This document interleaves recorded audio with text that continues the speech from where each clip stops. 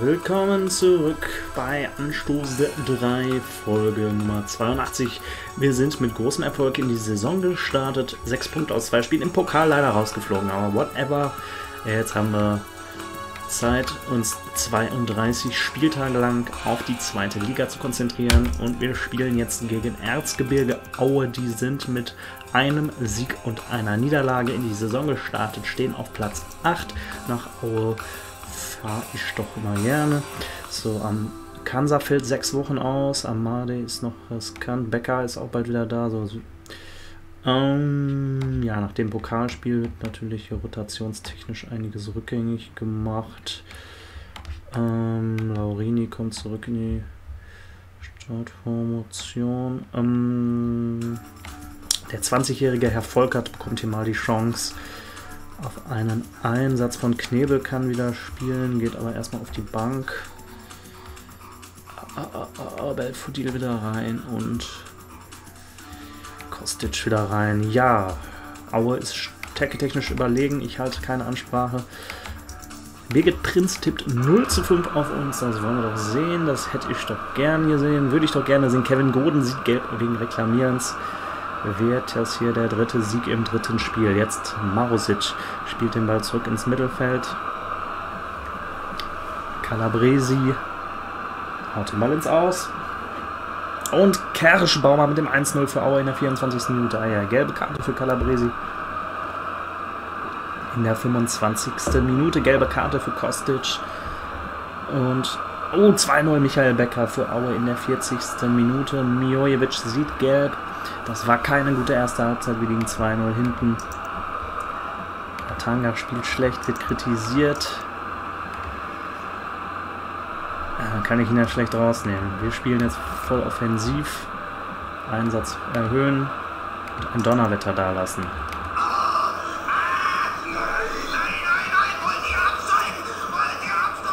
Naja, Abstieg wollen wir hier noch nicht reden. Jetzt direkt direkte Reaktion. Einwurf Kammerbauer auf Belfodil, der flankt den kurzen Pfostenkopfballverlängerung von Ben Yedda. Hut kann zur Ecke klären. Ich wollte gerade eben sagen, kein mir bekannter Name hier bei Aue, doch Janik Hut kenne ich doch. Bürger, Hut. Er packt sicher zu. Porat nimmt den Ball mit. Atanga drängt ihn ab. Flankt. Kommt keiner dran. Mausic passt quer. Kerschbaumer gegen Kammerbauer.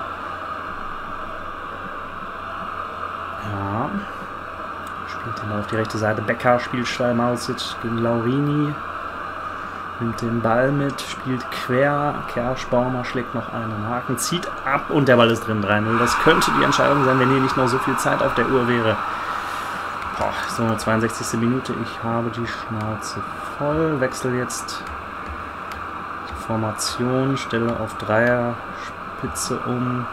Kammerbauer geht raus. Otto kommt rein. Taktische Gründe sind hier der Grund. Äh, Clark kommt für Atanga und Neidhart für Kostic. Volle Offensive. Gucken wir, ob hier noch was geht. Ansonsten ist das halt die erste Niederlage. Merola verunglückt. Diese Flanke hier passiert nicht mehr viel. Oh, da hat sich unser Torwart verletzt. Scheiße, wir können nicht mehr wechseln. Dann geht Ben Yedda halt ins Tor. Eckball jetzt nochmal für Aue. Will der Ben Yedda hier noch eine Parade halt äh, absolvieren müssen. Ben Yedda, ja, tut er, klärt souverän. Ben Yedda als Keeper hier mit einer guten Aktion. Wir verlieren 3-0 in Aue. Der erste der, in der Liga. Lennart Grill mit einer Innenbanddehnung. Spiel bekommt die Note 4. Geht so. Konstantin, Konstantin der Mann des Spiels. Wir fallen von Platz 2 auf Platz 7. Folgende Ergebnisse gab es. Halle spielt 0-0 gegen den HSV, Unterhaching gewinnt 4-0 gegen Dresden, Darmstadt verliert 0-1 gegen Bochum, Kiel verliert 0-1 gegen Würzburg, Nürnberg gewinnt 3-1 gegen Münster, Aue gewinnt 3-0 gegen Braunschweig, Paderborn gegen Bielefeld das Derby 0-0, Karlsruhe 3-3 gegen Ringsburg. Was war denn da los? St. Pauli verliert 1-7 gegen Heidenheim. 1-7. Was ist mit Heidenheim los? Die schlagen FC Bayern München mit 3-0, gewinnen hier 7-1 gegen St. Pauli. Ja, bei St. Pauli bin ich mal gespannt, ob die jetzt neue Spieler verpflichten. Die haben ja krass viele abgegeben. Neuer Tabellenführer Würzburger Kickers vor Halle, vor Heidenheim. Die sind auf den Aufstiegsrängen. Auf den Abstiegsrängen Regensburg, Kiel, Paderborn und Darmstadt. Hier in der Elf des Tages niemand von uns. Ähm, wir waren aber im bestbesuchten Stadion. Bestbesuchtes Stadion Aue liest man auch nicht so oft. Ähm, Gab es hier gerade keine Transfers oder habe ich das jetzt nur weggeklickt? Ja, es war auf jeden Fall jetzt keine gute Woche für uns. Wir spielen jetzt gegen meinen Ex-Club aus Paderborn. Wir besuchen Grill und Nkansa erstmal. Grill fällt zwei Wochen aus. Verletzungen häufen sich. 73% Vorstandsvertrauen. Und sie haben mit ihrem Co-Trainer über verschiedene ihrer Spieler gesprochen, ihnen ganz konkrete Hinweise gegeben, auf welche Dinge er bei ihren Schützlingen besonders achten soll. Auf welche Dinge er achten sollen. Ich bin Germanist, was ist das denn hier für eine Grammatik? Einige Spieler gewinnen deshalb einen Motivationspunkt. Champions League wird gespielt. Oh, ich sehe schon ein imposantes 1 zu 6 von Eintracht Frankfurt gegen Lviv. Dortmund spielt 1-1 gegen Ajax Amsterdam. Leverkusen gewinnt 3-1 gegen Anderlecht.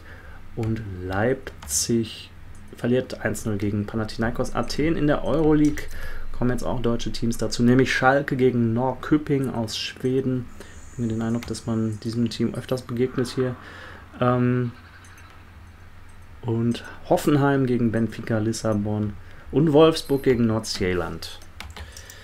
Oh, was ist das denn hier? Ihr Spieler Thomas Volkert hat herausbekommen, dass der Spieler Joey Brenner, der die gleiche Spielstärke hat wie er, erstmal Gruß in die Kommentare hier äh, bei YouTube, wo mir jetzt die Story von Joey Brenner erzählt wurde. Sehr spannend, hat mich äh, gefreut, das zu lesen, sehr interessant.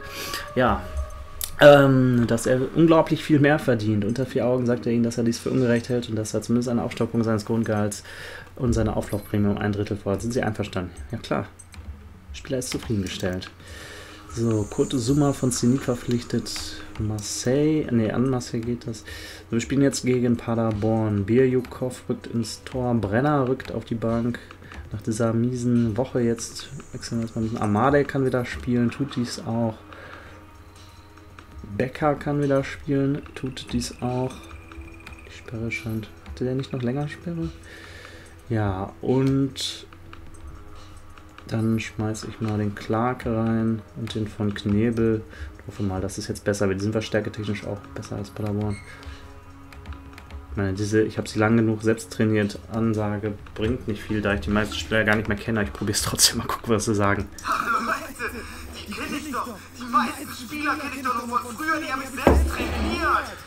Das kriegen wir schon hin, da machen wir uns gar keine Sorgen. Ich weiß doch genau, wie die spielen.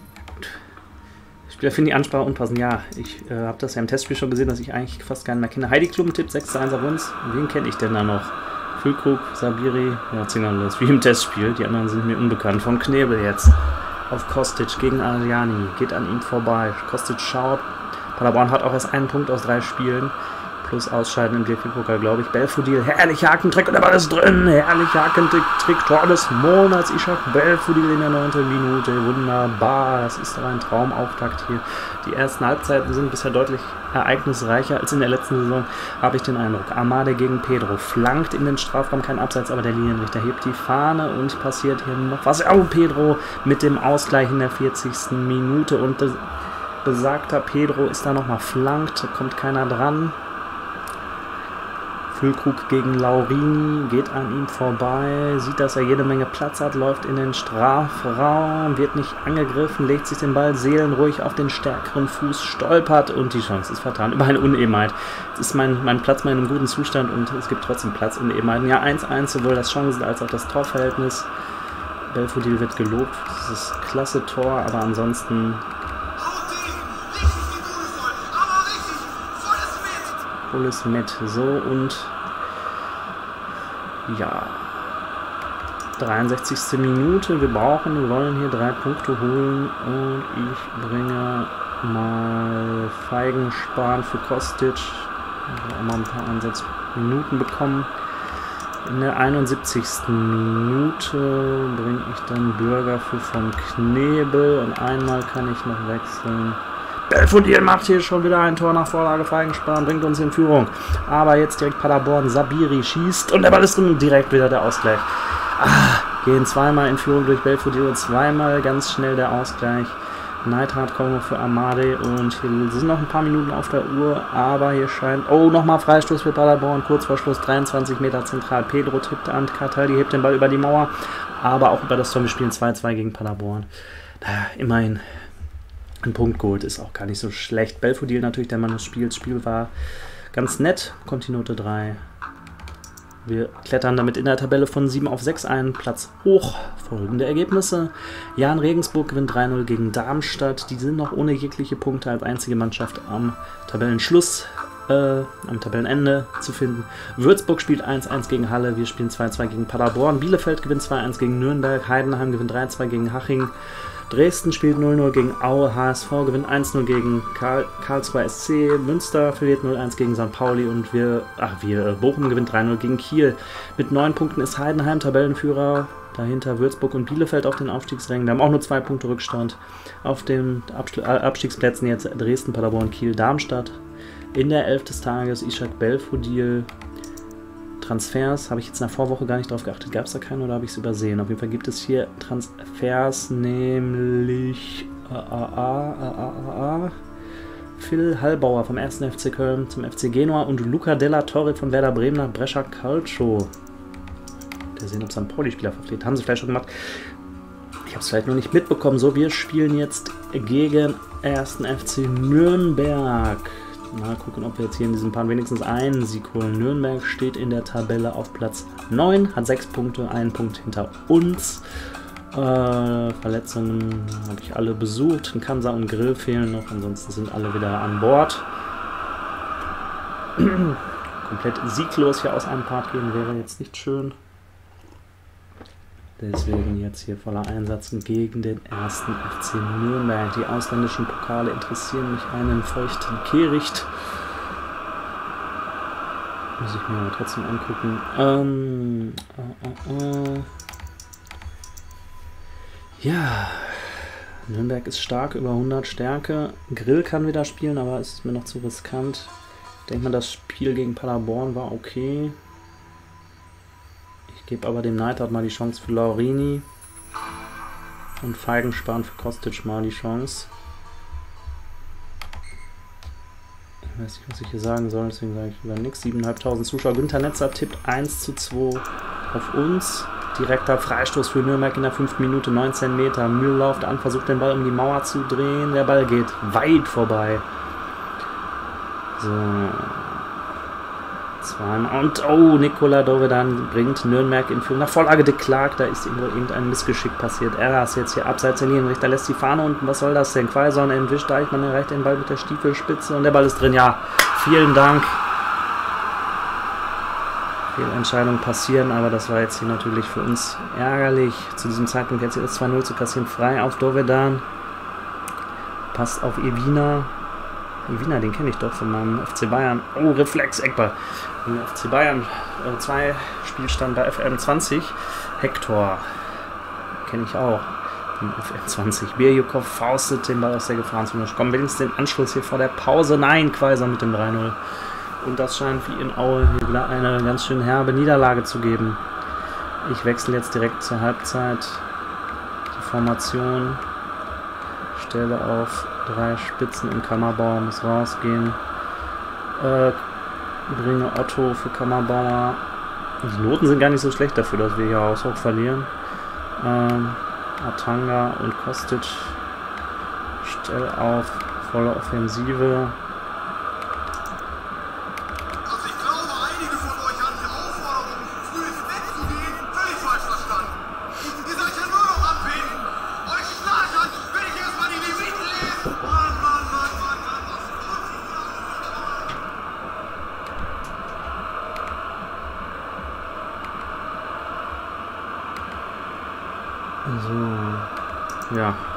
Quaison 4-0. Hier sieht nicht gut aus. Sieht nicht gut aus, sieht nicht gut aus. Da soll ich jetzt auch noch machen. Gelbe Karte, Dovedan. Quaison trifft Neidhardt, der Ball landet im Strafraum. Medeiros ist schneller als Deichmann, kommt mit der Fußspitze an den Ball knapp vorbei. Und Lukas Mühl macht das Debakel perfekt. 5-0 verlieren wir. Oh, das war kein guter Part. Zweimal auswärts, ganz kalte Dusche abbekommen. 5-0 gegen Nürnberg. Ein Punkt aus drei Spielen nur geholt. Robin Quaison, der Mann des Spiels, Spiel bekommt die Note 3. Und wir fallen auf Platz 10. Unsere Tordifferenz sieht jetzt auch ziemlich scheiße aus. Minus 5. Ja, das haben wir uns in diesem Part eingebrockt. Naja, Paderborn spielt 1-1 gegen Dresden. St. Pauli gewinnt 2-0 gegen Bochum. Unterhaching gewinnt 3-0 Und das sieht auch schön aus hier. 2-0, 3-0, 4-0, 5-0. Ja gut, nicht ganz in der Reihenfolge, aber ja. Unterhaching gewinnt 3-0 gegen Regensburg. Wir verlieren 5-0 in Nürnberg. Bielefeld gewinnt 4-0 gegen Münster. Aue spielt 1-1 gegen Heidenheim. Karlsruhe spielt 3-3 gegen Würzburg. Halle verliert 0-3 gegen Kiel. Und Darmstadt verliert 1-3 gegen den HSV. Bielefeld neuer Tabellenführer, dahinter Heidenheim und Nürnberg. HSV macht auch einen ordentlichen Satz. St. Pauli auch. Ein guter Tag für Hamburg hier auf den Abstiegsrängen Kiel, Dresden, Paderborn, Darmstadt. Darmstadt immer noch mit 0 Punkten. In der Elf des Tages natürlich niemand von uns und jetzt könnte es für mich schon langsam ungemütlich werden mal wieder. Sam Bryan geht von Hoffenheim nach Köln und ja, Akpoguma geht auch von St. Pauli weg zum BVB. Kovnacki geht von Düsseldorf nach Werder Bremen. Ja, ich habe gesagt, wenn ich den Saisonstart in Sand setze, dann kann ich noch Spieler verpflichten. Wir haben nur noch 67% Vorstandsvertrauen. Im nächsten Part spielen wir gegen Münster, Bielefeld und den HSV. Das sind doch drei Gegner, die ich alle nicht leiden kann als Paderborner. Äh, ja, da freue ich mich doch drauf. Wir sagen Tschüss, bis dann.